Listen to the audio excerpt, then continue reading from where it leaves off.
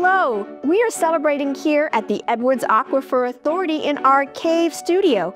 I'm Nikki Young. And I'm Amarga Gonzalez. We are celebrating the end of our first season of our debut show, Aquifer In-Sight. Aquifer In-Sight is designed to bring the aquifer to you, our aquifer ambassadors.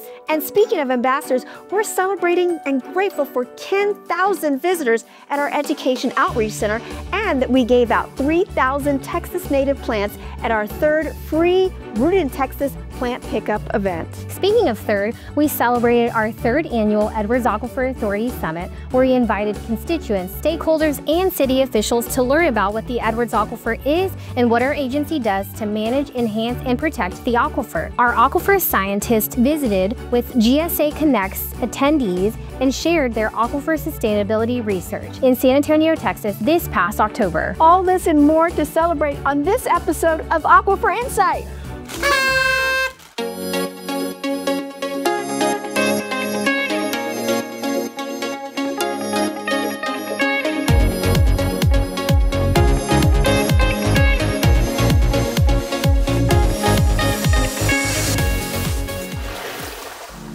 So you heard us say that we're celebrating 10,000 visitors at our Education Outreach Center. So if you've been, come back. And if you've never been, here's how you can learn how to book your free visit. The Education Outreach Center is a special place where people can come together to learn about the vital resource that is fresh water. It's crazy that the Edwards Aquifer is right underneath us, and I didn't even know. The actual Edwards Aquifer is a little bit inaccessible. It exists underneath us, it's groundwater. So since the Edwards Aquifer is underground in all these pores and spaces and caves, kind of hard to get to. But you can come out to the Education Outreach Center and you can learn all about it. We've taken care of everything for you. All of our STEAM lessons are TEKS aligned and complement what we're learning in the classroom. So whether it's living and non-living things, or let's say animal adaptations, we got you covered. Over the years of teaching, I've had the privilege of watching the aha moments that students have when they figure out and realize that everything is connected through water. You should definitely come. It's a really unique and fun experience. Like you can go outside, do a scavenger hunt. The entire experience is free. We don't charge for anything that we do at the Education Outreach Center. So to make a visit, all you have to do is go online to our website, eaaeoc.org, and click on schedule a visit follow all of the prompts, and then we'll work one on one with you to get your customized field trip for your students. I hope that when people leave the EOC that we have an appreciation of the water in the Edwards Aquifer so that we can conserve it for education and also for the future generations.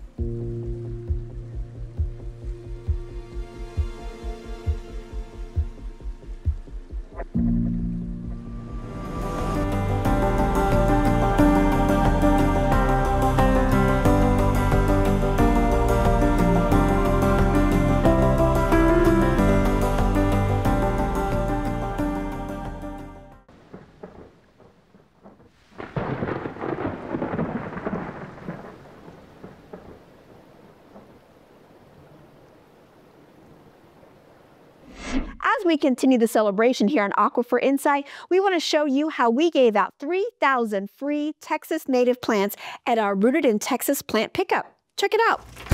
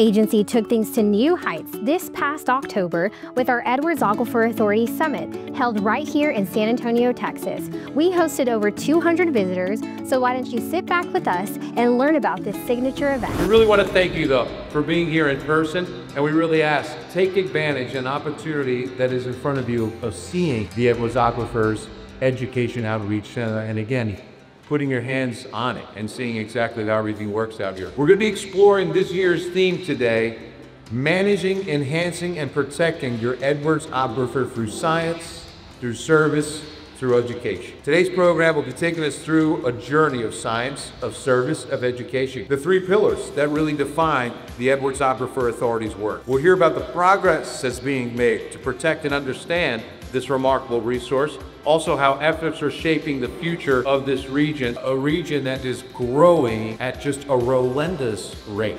And so the majority of water that enters, all of the water that recharges the Edwards enters a system along the recharge zone. And these rivers and the flow of these rivers um, as they drain the contributing zone to the rainfall are the biggest contributors to recharge.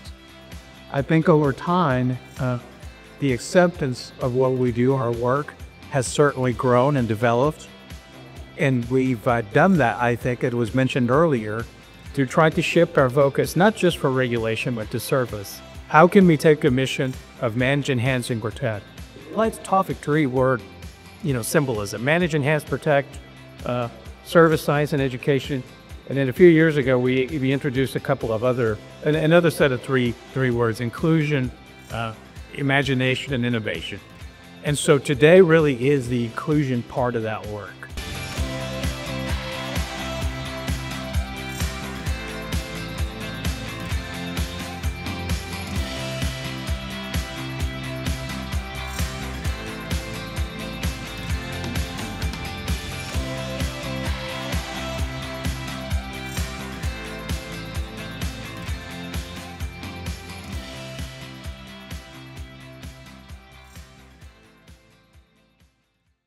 This past October, our EAA scientists went to GSA Connects, held right here in San Antonio, Texas. This event is hosted by the Geological Society of America, which brings together geoscientists from across the world. Learn more about aquifer sustainability research from our agency in this quick video. An overview of our research and modeling work here at the Edwards Aquifer Authority essentially involves two main fronts. Primarily we focus on a couple of things. One, trying to understand the sustainability of the aquifer, not only now but for future generations, but also to develop data and information that can be used to guide and inform uh, resource and policy decision making uh, into the future. So from a sustainability standpoint, we want to focus on two fronts. One, quantity of water, how effective the aquifer system might be in maintaining its quantity of, that's available for people to use. And then on the water quality front, how do we identify those areas that are most susceptible to contamination? And then we combine all that with a range of data collection activities that all feed into our modeling efforts try to understand one, our conceptualization of the system, but also how we might represent the system for now and into the future. All that goes together to form the basis of our research program right now. So the methods we're using to study land management encompass all components of the water budget. We're looking at starting from rainfall, the input, to all the outputs, evaporation, transpiration, runoff, infiltration. So we have a set of experimentation and data collection for each individual component of that budget. The collaboration of scientists, policymakers, and private citizens is critical in conservation. These problems related to uncertainty related to climate change, growing population, urban sprawl, land development are not just simple issues that one group can tackle. All these folks need to work together. Here in Texas, more than 95% of the land is privately owned. We need the help of private landowners and private citizens to extend conservation practices across the region, whether that be through conservation easements, through irrigation suspension strategies, through aquifer storage and recovery leasing, or through land management. We need all of these programs to work together to combat the uncertainty we may face in the future publicly accessible databases uh, to utilize and uh, collaborate with others. It's a total team effort at the Edwards Aquifer Authority, and that's something that we're really proud of. All right, y'all. Well, we're so thankful to you all for watching us throughout this whole year and following us on the journey of learning about the aquifer from the facts that we've shared and the people that you've met and the staff and the behind the scenes things that you've seen. And we're going to see you next year. And speaking of next year, if you want to pick up one of our free calendars, make sure you go to our Education Outreach Center. We had an amazing Rooted in Saving Water photo contest and we celebrate all those people who shared their stories and how they conserve water through their lens. You can pick up your free calendar. Just visit eaaeoc.org to find out our hours of operation. We'll see you next year. I'm Nikki Young. And I'm Margaret Gonzalez. This is Aquifer In-Sight. Bye, y'all.